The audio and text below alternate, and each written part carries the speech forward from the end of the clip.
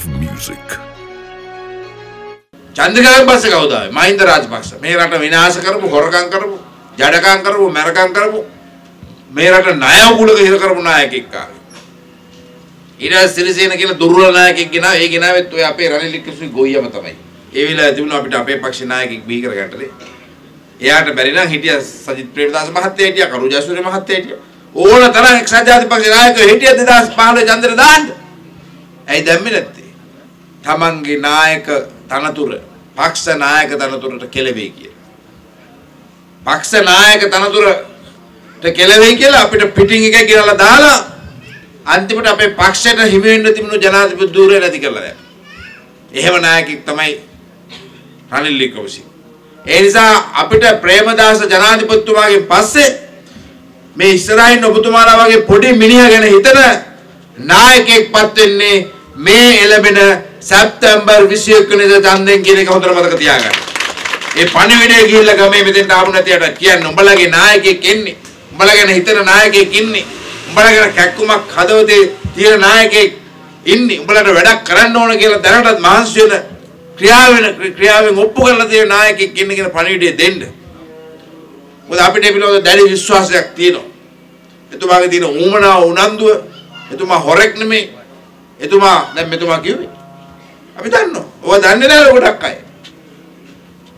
ඔය බස් වලට සූරු පන්ති වලට කාමර වලට ඒ මුදල් බොහොම විනිවිදභාවයෙන් එතුමාගේ අතර යන්නේ ඒ අදාළ ආයතනයට ගෙවනවා රිසිට් පත අපිට උදව් කරපු ව්‍යාපාරිකයට ඒ දාන පරිත්‍යාග ලබා දුන්නු පුද්ගලයාට ලබා දෙනවා. බොහොම විනිවිදභාවයෙන් කටයුතු කරන අය. කොහොම දේශපාලන ව්‍යාපාර නැහැ. දැන් ඔය මහලවට කය ගන්න අනුර කුමාර ජාලා කළා. රිසිට් දෙනවද ඔය රටවල් ගිහිල්ලා ගිහිල්ලා එකතු කරගෙන සල්ලි වලින් මොනවද කරන්න කියලා. කියනවාද අරකට විදන් කරා මේකට විදන් කරා කියලා. අඩුමානේ පක්ෂ මිනිහෙකුට ලෙඩක් දුකක් හදුනොත් පෙරඩෝල් පෙත්තක් කරන් දීලා තියෙනවද? නෑ. ඒව කරන්නේ නෑ. ඒව කරන්නේ නෑ තමන්ගේ දේශපාලන ව්‍යාපාරය වෙනුවෙන් තමන්ගේ නායකයන්ගේ අවශ්‍යතාව වෙනුවෙන් විතරයි ඔය යොදවන්නේ. අපේ නායකයා හැම නෙවෙයි. කොච්චර සභා සුබ සාධන වැඩ කටයුතු එතුමා කරනවා. ඒ නිසා ඔබතුමාලා කිසිම සැකයක් තියාගන්න එපා. දිනන නායකයා ඉන්නේ අපිත් එක්ක. එතමා දිනන සජිත්. දිනන සජිත් තමයි මේ රටත් දිනවන්නේ හොඳට මතක තියාගන්න. එතුමා විතර නෙමෙයි දිනන්නේ. සැප්තැම්බර් 21 වෙනිදා එතුමා දිනනවා කියන්නේ ඔබතුමාලත් දිනනවා. මේ මහනුවර දිස්ත්‍රික්ක හේවායට ජනතාව දිනනවා. මේ රටේ සමස්ත ජනතාව ජාති ભેදයකින් තොරව දිනනවා. ඒ ජයග්‍රහණත්පත් කර දෙන්න තමයි අපි මේ මහන්සි වෙලා වැඩ කරන්නේ. ඒ නිසා සියලු දෙනාම ඒ ඉලක්කයට යන්න කටයුතු කරන්න. ඒ ඉලක්කය ජයග්‍රහණය කරන්න දායක වෙන්න. අද ගොඩක් පිම්බිලා හිටපු නායකයෝ හුලම් බැහැලා ඉන්නේ. අද ආණ්ඩුවේම කල්ලි කණ්ඩායම් ගණනාවක් ඡන්ද ඉල්ලන ජනාධිපතිවරයාට. දැන් බලන්නකො. ජනාධිපතිවරයා නම දෙනා බාර දීලා. ජනාධිපතිවරයා අපතම්පත් කරලා. ජනාධිපතිවරයාගේ අමාත්‍යාංශයේ ප්‍රධානම කැබිනට් අමාත්‍ය ධූරයක් දරන ආචාර්ය විදේදාස අධිකරණ අමත අපතම්පත් කරලා. එතුමා හොඳ කතාවක් කියනවනේ. එතුමා මොකද්ද කියන්නේ? එතුමා කියනවා එතුමා අධිකරණ අමාත්‍යාංශ දූර අමත ධූරයේ හිටියේ නැත්තම් මේ අවුරුද්ද ජනාධිපතිවරණයක් එන්නෙත් නැහැලු. ඒ කියන්නේ මොකද්ද කියන්නේ? මේ ජනාධිපතිවරණය නොතියන්න රනිල් වික්‍රමසිංහ ජනාධිපතිවරයා අතුරු ටීම් එක ගේම් එකක් ගහලා ඒක ඉදිරියේදී නුදුරු අනාගතයේදී හෙළිදරව් කරනවලු. ඇයි ඒ ගේම් ගහන්නේ? දිනන්න බැරි හින්දා.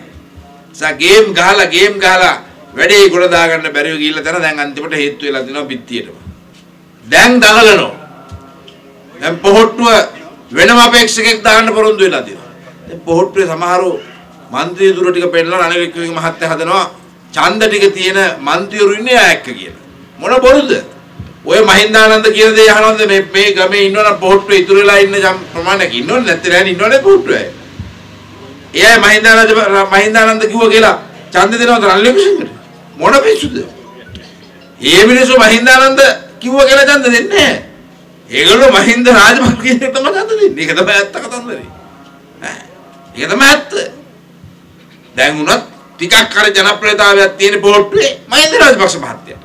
ඒ මහින්ද රාජපක්ෂ මහත්තයා දාන අපේක්ෂකයට තමයි පොට්ටුවේ ඉතුරුලා ඉන්න ගමේ ඡන්ද දෙන්නේ. මොකද මහින්ද රාජපක්ෂට වඩා ඉහළින් දෙන්නේ මහින්දානන්ද අලුත්ගම කියන්නේ නෑනේ. ඒ නිසා ඒක තමයි පරම සත්‍යය. කැබිනට් එකේ ඉන්න උන් ටික ඉන්නේ මහ රනිල් වික්‍රමසිංහ ගාව. ඒක අපි දන්නවා. මොකද රනිල් වික්‍රමසිංහ ජනාධිපතිවරයා මේ කැබිනට් එකට හොඳට නිදහස දීලා දිනවා මොනවාටද? හොරකම් කරන්න. හොරකම් කරන්න නිදහස දීලා තියෙනවා. මහින්ද රාජපක්ෂලා ඉස්සරහා ඒ නිදහස දුන්නේ නැහැ නේ මොකද ඒගොල්ලෝ පවුලේ ඇනේ සේරම හොරකම් කරේ. අමාත්‍යංශ වලට අත දාලා ඒ අමාත්‍යංශවලුත් ඇදලා ගත්තා. තමන්ගේ පවුලේ උන් ටික. එහෙන් චිචීලා චුචූලා ඈ නාමල්ලා දේශියාච්චිලා සේරම එකතු වෙලා අමාත්‍යංශ වලට අත දැම්මා. රාජ රනිල් කුමාරයා කරන්නේ. ඒ නිසා පුදුම චූන් එකක් තියෙන මේ කැබිනට් මණ්ඩලයේ අයට රනිල් වික්‍රමසිංහ ගැන පුදුම ගෞරවයක්. පුදුම ආදරයක්. ඒ Tamanට රිසිසේ හොරකම් කරන්න ඉඩ දීලා පාඩුවේ ඉන්නවා. දැන් අර වීසා ගනුදෙනුව. වීසා ගනුදෙනුව කියන්නේ එදා මහ බැංකුව කැඩුවයි කියලා මහා ගෝරනඩුවක් තිබුණා මහින්දානන්දලා කෑ ගැහුවනේ. ඒ වගේ 36 ගුණයක් ලොකුයි වීසා මගඩිය. රටට එන හැම විදේශිකයෙකුට දෙන වීසා එකෙන් ඩොලර් 20 ගානක් කොහෙද මට මතක නැහැ. ඒක ඩොලර් එක එක එක වීසා එකකින් ගන්න. ඒක වැඩි කරලා බලපුවාම ඒ අවුරුදු ගණනාවකට මේ ආයතනයට දීලා රුපියල් කෝටි 4000ක් වංචාව. මහ බැංකුව වගේ 36 ගුණයක් ලොකු ගේමක් ගහලා තියෙනවා. මේ දවස්වල පාර විදලා මුදලක් විදක් කරන්නේ මේ මේ රනිල් වික්‍රමසිංහ ජනාධිපතිතුමාගේ ටීම් එකයි. ඒ මොකද මේ මගඩියෙන් ඇඩ්වාන්ස් එකක්වත් ගන්නදී අපි හොඳ වෙලාවට අධිකරණයට ගිහිල්ලා අපේ മന്ത്രിවරු මේක නතර කරගත්තා. ඇඩ්වාන්ස් එකක්වත් ගන්නදී මගඩියට මුලට වැඩේ පටන් ගන්නකොට. ඒ නිසා මේ හොර කල්ලිය එදා රාජපක්ෂලත් එක්ක හිටපු හොර කල්ලිය අද රනිල් වික්‍රමසිංහත් එක්ක එකතු වෙලා ඉන්නේ. තකට තකරේ නියම සෙට් ටික ඉතුරු වෙලා තියෙන්නේ එකතු වෙලා ඉන්නේ. ඒ නිසා පිරිසුදු කණ්ඩායම ඉන්නේ සජිත් ප්‍රේමදාස මැතිතුමා. පිරිසුදුම කණ්ඩායම ඉන්නේ සජිත් ප්‍රේමදාස මැතිතුමා. වැඩක් කරන්න පුළුවන් නිර්මාණශීලී හැකියාව තියෙන අත්දැකීම් තියෙන කණ්ඩායම ඉන්නේ සජිත් ප්‍රේමදාස මැතිතුමා. ඒ නිසා ඔබතුමාලා ඒ ජයග්‍රහණයට දායක වෙන්න. ඔබතුමාලට හොඳ වාසනාවක් උදා වෙලා තියෙනවා ලොතරැයියකුත් ඇතිලා තියෙනවා. ඒ තමයි ඔබතුමාලට හේවැයට ආශ්‍රයයට හොඳ වැඩකාරයෙක් හම්බෙලා තියෙනවා. එතුමා ව්‍යවසායකෙක්. හිටපො ඇමතිවරයෙක්. ඒ නිසා අපි මේ ජයග්‍රහණයෙන් පැය ගණනාවක් ගිය තැන පාර්ලිමේන්තුව විසිරෝනවා ඊට පස්සේ අපි ලබන විශිෂ්ට ජයග්‍රහණයේදී එතුමා නියත වශයෙන් මේ මහනුවර දිස්ත්‍රික්කයෙන් ඉහළින්ම ජයග්‍රහණය කරනවා. ඒ ජයග්‍රහණය කරාරින් පස්සේ හදන අමාත්‍ය මණ්ඩලයේ නියත වශයෙන්ම ආල් ගුණසේකර මැතිතුමා ඉහළම අමාත්‍යංශයක් තනතුරක් දරනවා කියන එකත් මම මතක් කරනවා. ඒ නිසා ඔබතුමාලට දැන් මේ තියෙන්නේ පොඩි කාලයේ ප්‍රශ්නයක් විතරයි. අපි තව දවස් 48කින් ජනාධිපති කෙනෙක් බිහි කරගන්නවා. ඊට පස්සේ තව මාස 3කින් විතර ඔබතුමාලා ආණ්ඩුවක් හදද්දි පාර්ලිමේන්තු මන්ත්‍රීවරයෙක් එක්ක කැබිනට් ඇමති කෙනෙක් බිහි කරගන්නවා.